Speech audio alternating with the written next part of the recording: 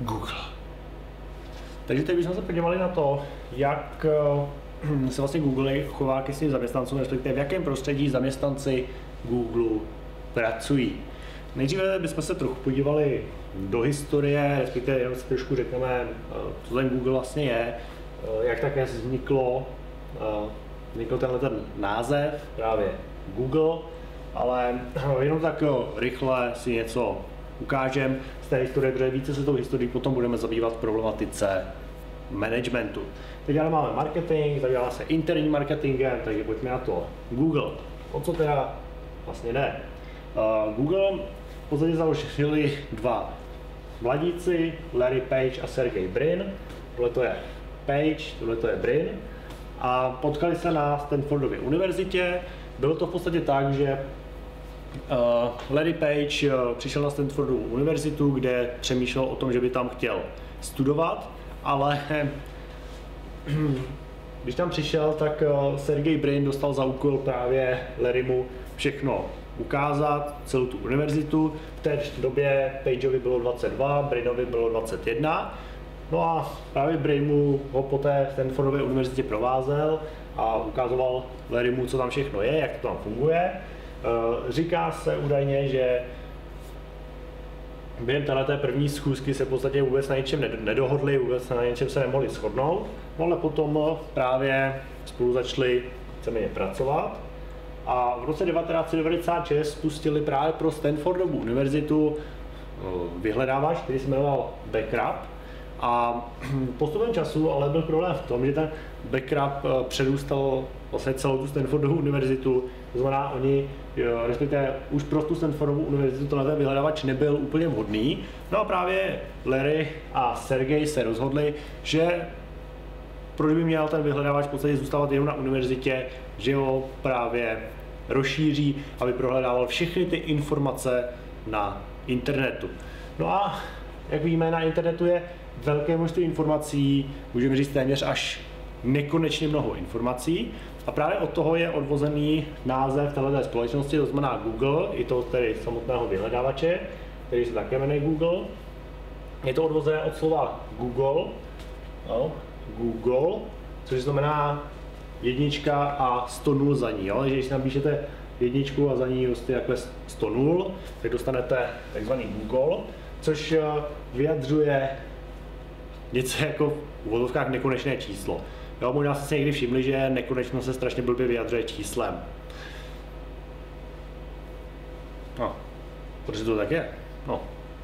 tak, jo, a pozor tohle toho jakoby v úvozovkách má vyjadřovat to nekonečno a oni právě tady od toho názvu, protože chtěli uspořádat eh, nebo respektive umožňovat lidem prohledávat nekonečné množství informací na, na tom internetu, tak říkali, no tak to uvidíme právě z toho slova Google a vznikl Google. Tak, a my bychom se podívali právě na Googleplex, eh, který je, eh, tuším, v Kalifornii. A právě Googleplex je v podstatě v USA, v Kalifornii, je to eh, komplex, tuším, 16 budov, kde právě ty pracovníci makají a pracují a my se podíváme potom ve videu, jak to tam vlastně vypadá. Jo, a uvidíme, že prostě ten interní marketing má Google zmáknutý opravdu mistrně, jo, protože tady je jenom náznak toho, co v tom videu potom můžete vidět. Uh, si tam zahrát třeba ping-pong, uh, si tam dokonce i dojít zaplavat, uh, je tam i posilovna, v posilovně mají uh, i svého vlastního soukromého trenéra, můžou si tam vlastně kdykoliv zajít, tuším, že tam nemají jenom jednu posilovnu, mají jich tam dokonce víc, tuším, že čtyři. Eh, je tam i lékař k dispozici, kdyby potřebovali, eh, jsou tam i odpočinkové místnosti, kde si vlastně oni mohou lehnout a poslouchat relaxační hudbu. Eh, také si tam můžete zajít například na masáž, i to je tam k dispozici a jak se v tom videu říká, velice důležité je jídlo. Že v tom videu přímo uvidíte, že oni tam říkají, že jídlo je vlastně součástí té samotné kultury eh, toho Google. Všechno je tam vlastně zadarmo, máte tam opravdu různé hm, druhý jídel na výběr, aby si opravdu každý mohl vybrat, že někdo jí zdravě, někdo radši prostě pizzu a tak dále. To znamená, toho jídla je tam opravdu spousta a hlavně tam říkají, že jídlo je tam prostě zdarma. jo, takže super. Také tam v tom videu uvidíte, že oni prostě, když je venku pěkně, tak aby nemuseli jíst vevnitř, tak, si prostě, tak se tam dělá barbecue. Jo? Tady jsou prostě nějaký kuchaři, že jo, a ty prostě venku dělají barbecue a ty zaměstnanci si tam chodí najíst. Takže tohle to a mnohem víc prostě v tom Googleplexu můžete najít.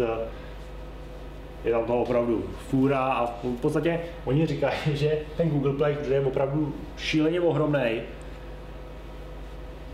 a prostě veliký, jo, tak um, právě uh, to působí jako takový jeden velký funhouse, jo, to znamená, je to prostě jako takový, jako, jako kdybyste šli do zábavního centra, jo? Prostě máte tam jako všechno.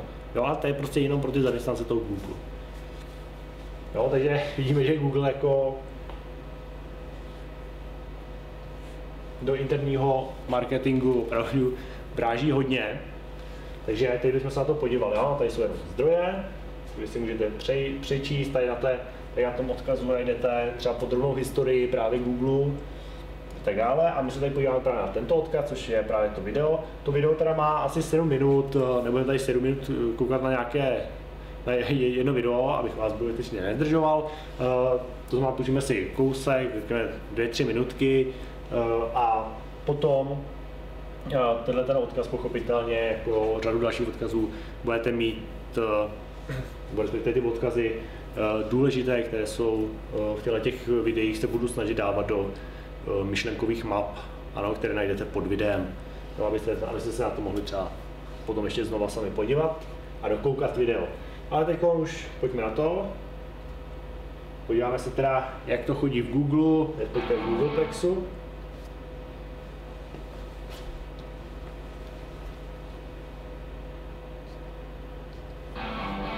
This is Google in Mountain View, California. home of the most extreme office perks in the country.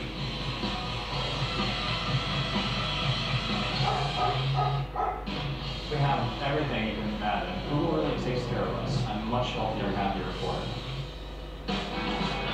And it all goes down at Google's main headquarters, aka the Googleplex. One giant funhouse. When I first met the founders, I walked into their office and found Larry Page on rollerblades and Sergey Brin bouncing around on physio ball. And I knew this was no normal standard company. That's an understatement. Spanning over 1 million square feet, the Googleplex is two and a half times the size of Giant Stadium. Comprised of 16 buildings, which house the thousands of employees who are lucky enough to work here. And just like the campus, the perks are endless. If you open your eyes, it's hard to miss them. One of the most crowd-pleasing perks? That would be the food.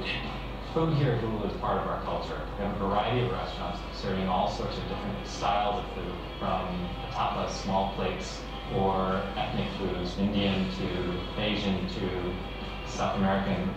That's right. Instead of your typical little lunchroom, Google has 18 different cafes serving breakfast, lunch, and dinner. The food is really incredible because there's so many options. And the best part?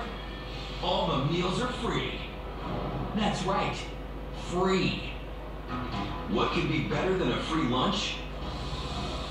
Free barbecue. In the summer, Google takes it outside for some serious grilling. But if that doesn't get your mouth watering, how about this? One of the cafes is called Cafe 150. Everything served there comes from within 150 miles of Google. It's all delicious, healthy, mostly organic, and locally grown food. And if eating locally is eco-friendly, Google takes it one step further, because they grow their own food. Right on campus.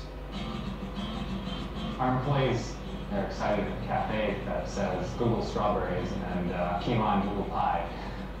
But even that's not enough free food for these employees. Because Google makes sure there are unlimited munchies within a few feet of everyone's desks. We're about, I don't know, 20 feet from where I sit at my desk. And unlike your average workplace, Google provides more than an old coffee pot and creamer. They hook it up fancy Java style. And oh yeah, it's all on the house. I get up from my desk quite a bit to make myself espresso and keep going. But if employees feel like they've had too much to eat, Google's got the perk to take care of it. Not one, not two, but four fully loaded gyms. And you guessed it, they're all free. Having the gym here at Google has been great for me because it's allowed me to train for two marathons. I've been much healthier and happier, and I definitely getting those lunch runs in has been perfect for getting back to work. It's made me so much more productive. And for those employees gunning for a six-pack, Google even has personal trainers on site. It's a great asset having personal trainers here. They really work one-on-one with you and help keep our workforce fit. After feeling the burn, there's only one thing left to do. Get a massage. Once a year on their birthdays, these lucky Googlers get a free rubdown. And we have Father's Day, neck, shoulders, back. Takže vidíme, takhle se teda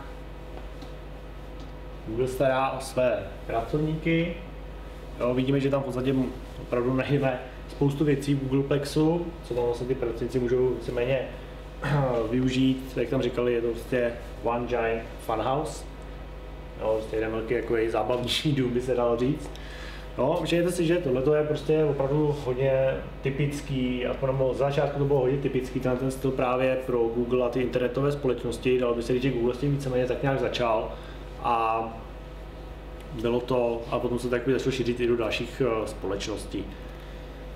Jo, aby se skutečně ta firma o, té, o ty své zaměstnance postarala a dala jim prostě najevo, že jsou pro ně, pro ní důležitý, důležitý. Jo, takže tady to podstatě byla ukázka. Určitě si řeknete, že tohle to vlastně stojí hodně peněz, jasně, určitě to stojí hodně peněz, ale Google si to pochopitelně může dovolit. Nikdo neříká, že je prostě potřeba mít ve firmě něco takového.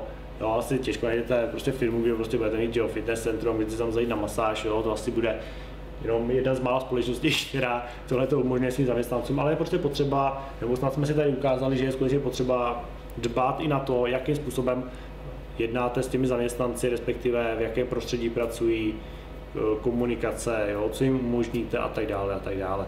Takže tohle byl teda interní marketing a problematika společnosti Google.